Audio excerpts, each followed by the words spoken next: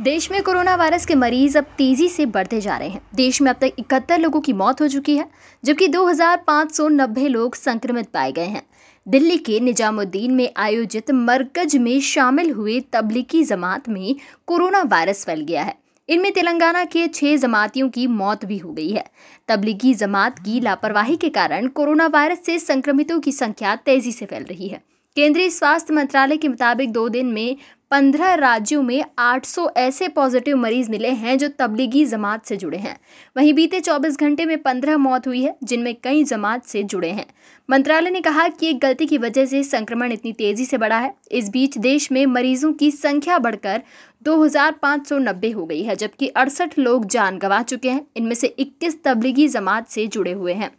स्वास्थ्य मंत्रालय के संयुक्त सचिव लव अग्रवाल ने बताया कि दो दिन में तबलीगी जमात से जुड़े छह मरीज़ मिले हैं। लॉकडाउन व सामाजिक दूरी के कारण देश में पहले इस अनुपात में मरीज़ नहीं आ रहे थे, लेकिन रात को जब राज्यों के आंकड़े आए तो जमात से जुड़े मरीज़ करीब 800 हो गए हैं। इनमें अकेले तमिलनाडु के 100 और नए केस जुड़ गए हैं। अब वहाँ कुल 411 संक्रमित है और 1580 संदिग्ध अस्पतालों में भर्ती है। अग्रवाल ने कहा था कि दिल्ली समेत अंडमान निकोबार, असम, दिल्ली, हिमाचल प्रदेश, हरियाणा, जम्मू कश्मीर, झारखंड, कर्नाटक, महाराष्ट्र। राजस्थान, तमिलनाडु, तेलंगाना, उत्तराखंड, उत्तर प्रदेश और मध्य प्रदेश में भी जमात से जुड़े संक्रमित मिले हैं। इस बीच गृह मंत्रालय ने जमात में शामिल हुए 360 और विदेशियों को ब्लैकलिस्ट करने की कवायद शुरू कर दी है।